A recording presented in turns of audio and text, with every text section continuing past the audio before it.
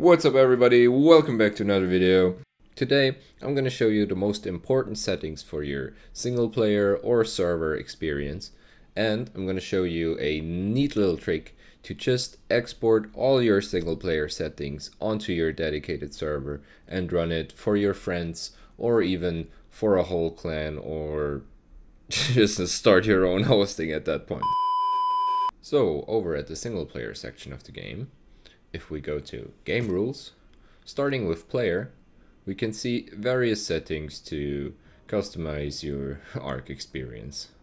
If you hover over any of these settings, you will see a little explanation onto what it does and how you have to adjust the value in order to increase or decrease whatever the function does. And these settings are categorized into neat different sections describing major parts of the game. So first you can choose between three difficulty presets, easy, medium and hard, where hard is the official difficulty setup, that's what's running on the servers, on the official servers. Then medium, where you do twice the damage and a whole boatload of other settings is also adjusted, like uh, food drain, stamina drain. And also the creatures won't be max level and easy, where you do three times the damage, I believe. And also creatures spawn only up to level 35. So, but let's say you want to play on medium. You want the water, food and stamina drain and the damage. But you want max level creatures. So, you go to world and there you can turn on maximum difficulty. This will override and you'll get 150 creatures. Now you have 150 creatures, but also double the damage and less water drain. I for myself like to adjust the stamina drain to be a little more, like 0.8. So yeah, the game rules tab is where you're gonna find all the presets and the most accessible settings. So moving on to the advanced tab, under here you can find a lot of useful additional settings like you can turn on no diseases or disable the permanent diseases. Also here under world is where you're gonna find your mating intervals, your lay egg intervals, and uh, baby mature speed and all of that. It's getting a little complicated at this point, but this is also where you're gonna find your um, per level stat increases for wild, tamed, and player entities. For example, if you want your players to have more weight with every level up than the default, you can increase this here to let's say twice the weight per level in the weight stat. Of course that's also available for wild and tamed dinos. For tamed dinos it's a little more complicated because you have stats per level. This is for every level that your wild dinosaur has how much that its stats increase when you tame it.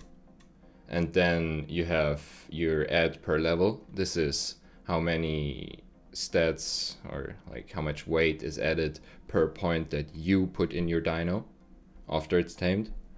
And the stat affinity, which affects the taming effectiveness. So let's say if you have 80% effectiveness, you can co configure this here. Let me know if you still have questions or if I should make a more in-depth video about settings alone. Um, for now, I'm gonna highlight a few more that probably gonna be important, like XP multipliers. If you have multipliers here, but you also have a multiplier under game rules, then these are gonna stack. So just keep that in mind. Something to also keep in mind under miscellaneous you can adjust the maximum tribe size together with a few more rating settings and supply crate and fishing loot quality. Like I said, let me know if you want a more in-depth explanation on the settings itself.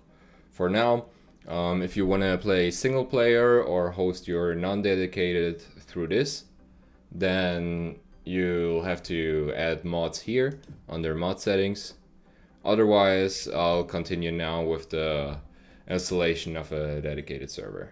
But regardless, if you play on a single player, non-dedicated or dedicated server, go to your game rules, click on Save Settings and start a non-dedicated session once. This will save all your settings in those game and user settings.ini files and we can just export them into our own dedicated server. Alright, so let me follow up on this little trick I was promising earlier in the video. So to export your game settings, just go to Steam or locate your installation of the game and go to properties, go to installed files, browse, and this will bring up a folder which is the root folder of your Ark Survival Ascended installation. From here, just go to shooter game, saved, config, and then Windows. And here you're gonna find your game.ini and user settings.ini files. Copy these two and save them in a different folder. In this next step, we're gonna download the Steam CMD and install the dedicated server for Survival Ascended and update it. And after that, we're gonna start it once and then replace all the settings with the ones we've done before. Um, so for that, just create a folder for your server. And then in that folder, create another folder called Steam CMD. In that Steam CMD folder, you're gonna place the steam cmd.exe, link in description. And after that, you're gonna create these two batch files.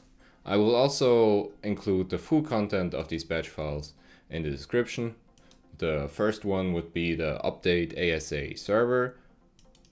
Uh, you're gonna wanna create one and edit it. And in it, you're gonna paste this. I'm gonna put that in the description like I said. What this does is it calls upon the steam cmd.exe and basically creates the ASA server folder and uses the anonymous login to download and validate the Ark Survival Ascended dedicated server. After you created that, close it again and create the second one, which we're gonna use to start our server. In here, you're gonna list the, the map, which is default. We only have one at this point. Um, then session name. This is what's gonna be showing up in the server browser in Ark. So you just have to fill in here. You have to fill in a admin password, which you can do here. The default port of this game is 7777 and 27015. These two have to be open in order for you to host your dedicated server. Really make sure that these ports are open. They have to be open on your Windows machine and on your router. After that it's just the player count and any mods you'd like to have. You can add with minus mods and then enter a comma separated list. I also like to include no BattlEye, but you can also run it with BattlEye. After that, let's close this. Alright, now that everything is prepared, we have our local config from earlier, our Steam CMD and our two batch files. We can start with downloading the server. So for that, click on the update server batch and it will start the Steam CMD to pull the newest release for the Ark server.